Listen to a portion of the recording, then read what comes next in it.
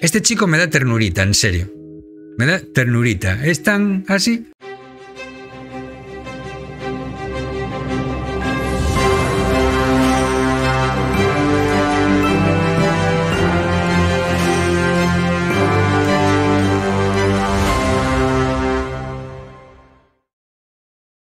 Pablo Iglesias y Yolanda Díaz se pronuncian sobre el proyecto Sumar. Son muchos los periodistas, entre muchas comillas, y medios de comunicación que están intentando que Sumar y Podemos no se encuentren, no se entiendan. Vamos a escucharle. le quería repreguntar sobre lo que le ha comentado el compañero, eh, el tema de la posibilidad de, adelantar su decisión. sí, que creo que no lo ha contestado.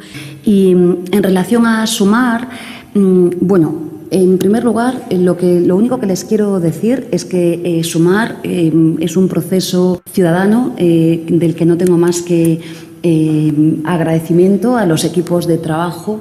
Me consta que en este mes conoceremos, tendremos acceso ya a algunos de los, de los documentos y de las tareas que, nos han, que les hemos encomendado y creo que el proceso de sumar es imparable. Mm, esto es lo que les puedo decir, mm, no porque lo diga yo, sino porque toda esa red de voluntarios y voluntarias que lo hacen posible quieren que sea así y por tanto, sí, sumar es imparable. Fíjate la historia, porque aquí Rubén Hood va a decirnos que todo va bien, que se llevan de maravilla y que lo que están diciendo es que se van a llevar de maravilla. Lo que está diciendo, hola Arsuabin, ¿qué tal? ¿Qué es Sumar? El partido que está montando eh, esta mujer. ¿Qué está diciendo? ¿Qué está diciendo Yolanda Díaz? Una, que no, que no se va a rendir, que el proyecto de Sumar va a tirar para adelante.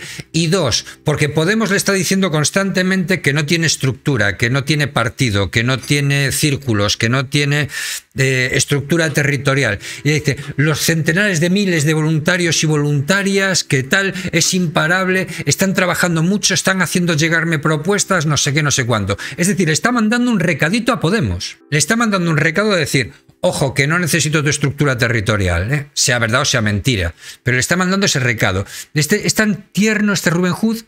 Eh, sumar eh, es el secreto para una nueva coalición progresista, lo creo así, o sea, sin...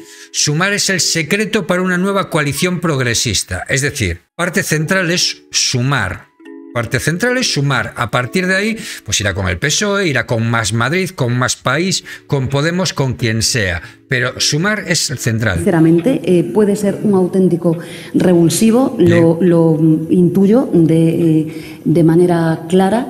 Y eh, creo que mm, en sumar lo que falta es demasiada gente. He dicho que hacían en sumar lo que falta es demasiada gente. Le está diciendo a la gente de Podemos que se vaya a sumar, que abandonen Podemos, que abandonen Podemos y que se vayan a sumar. O sea, bien. Falta muchas manos. Muchas manos. Muchas inteligencias, y muchos corazones. Lo sigo diciendo. ¿Qué es lo que tiene que hacer en este caso Unidas Podemos? Yo creo que lo primero es que Podemos y Sumar pacten una coalición y eso es condición de posibilidad de tener un resultado electoral en el que se pueda Bien, Pablo Iglesias todo lo contrario, no, no, aquí en pie de igualdad. ¿eh? O sea, tenemos que pactar una coalición tú y yo. Es decir, nada de que Podemos se sume a sumar. ¿Vale? No, no, aquí lo que eh, en pie de igualdad. Pueda repetir el gobierno de coalición, que lo entienda yo, es que ahí están los números yo creo que es evidente que sería muy difícil que la izquierda fuera en muchas candidaturas. A partir de ahí, pues yo creo que ese acuerdo de coalición sería muy importante dejarlo claro desde el principio. En Podemos ya han dicho pues que ya sería tiempo de que Yolanda Díaz aclarara si quiere ser la candidata de todos y a partir de ahí cerrar un acuerdo de coalición porque nos estamos jugando algo mucho más importante que la izquierda. Le está metiendo prisa porque tiene que colocar a la mujer. Tiene que ir de número 2 por Madrid. Irene Montero tiene que ir de número 2 por Madrid. Que por cierto, papelón que está haciendo eh, Belarra, ¿eh? que está haciendo un papelón que siendo Yone Belarra la secretaria general de Podemos y la Stein en fin, sigue. Y es que en este país se puedan seguir haciendo políticas públicas. Y la última pregunta también preguntarle sobre cómo está ahora mismo la relación de la vicepresidenta con Podemos. ¿Está rota ahora mismo la relación entre Yolanda Díaz y Podemos? Gracias. Esta es fácil, voy a empezar por el final. No, no está rota. Esta mañana he hablado con la secretaria general de Podemos. No, no está rota. Fíjate, no, no está rota. Esta mañana he hablado con la secretaria general de Podemos. ¿Quién es la secretaria general de Podemos? ¿Quién es la secretaria general de Podemos? Es Jone Belarra ¿vale? Ni siquiera habla con, con, con, porque con, porque con, con la, con la primera dama no habla. Ha hablado con Jone, con Belarra esta mañana. Y las dos son ministras. Y creo que nos han visto ayer juntas, no en absoluto. Mm, nosotros trabajamos como siempre con denuedo por nuestro país. Esta es muy fácil. Muy bien. Pues lo dejaba claro Yolanda ante esa pregunta tramposa de un periodista de la Sexta de estar roto. Pregunta tramposa del periodista la Sexta y ella lo ha dejado claro. No, no, si es que lo ha dejado clarísimo. Lo que pasa es que tú no te has enterado. Tú no te has enterado. O sea, ha hablado con Belarra.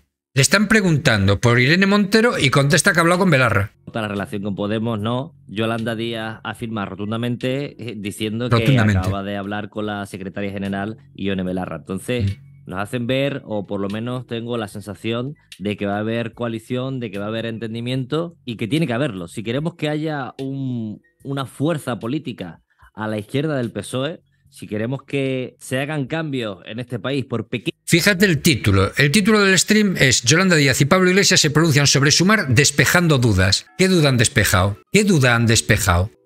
O sea, han despejado dudas de que están a matar, de que van a negociar, que no van, que no van a que, vamos, que no, no van a coger, no van a coger de, mm, presos, o sea, no van a coger prisioneros. Pequeño que sean, como la subida del salario mínimo, como mejorar la ley de vivienda, impuestos a los ricos, ah. redistribución, cambio climático, de crecimiento. Si queremos todo esto, aunque sean pequeños pasitos, necesitamos que haya un frente amplio. Y ese frente amplio no solo tiene que incluir a Sumar o Podemos, sino también a sindicatos y movimientos sociales, con un proyecto de mínimos, con un proyecto común. Necesitas que, que, todo el mundo esté con, que todo el mundo esté con vosotros, que todo el mundo esté con Yolanda 10. Pues mira, no, cada uno tiene sus propios intereses, es que esa es la gran putada, chico. Parece el doblador de Torrente, efectivamente, sí. Claro que sí, guapi. También Pablo Iglesias, que aunque ya no forma parte de Podemos en sí en el plano institucional, también ha dejado claro que sus intenciones son de ir en coalición con Sumar. Claro, sus intenciones son esas. Sus intenciones son poner él la lista electoral. Es ponerle la lista a Yolanda Díaz. Sin más, sin más. Este chico no se da cuenta de que los que se han ido de Podemos, si ven que están en coalición con Sumar, tampoco van a... Claro, no, no, se van a ir a sumar. Vamos a ver, yo no tengo ninguna duda de que muchos de los que se han ido de Podemos van a acabar en sumar. No tengo ninguna duda. Ya está, ya está. Pero que Pablo Iglesias, el, vamos a ver, el problema que tiene Pablo Iglesias es que ha ido echando a tanta gente, ha ido echando del partido a tanta gente, que al final es el capitán general de la nada. Y todos los que ha ido echando dicen, vale, pues oye, ¿y si nos unimos todos? ¿Eh? Esto es como decía, ¿no? A más país también. Esto es como el que decía, yo creo que si nos organizamos, frungimos todos. ¿eh? Así que vamos a organizarnos. Pues esto es igual, están en ese rollo. Colombia, la ministra de Igualdad ha hablado sobre el proyecto político de Yolanda Díaz, de Sumar. Irene Montero asegura que Unidas Podemos eh, está dispuestas a un acuerdo de coalición entre las dos formaciones. Sí.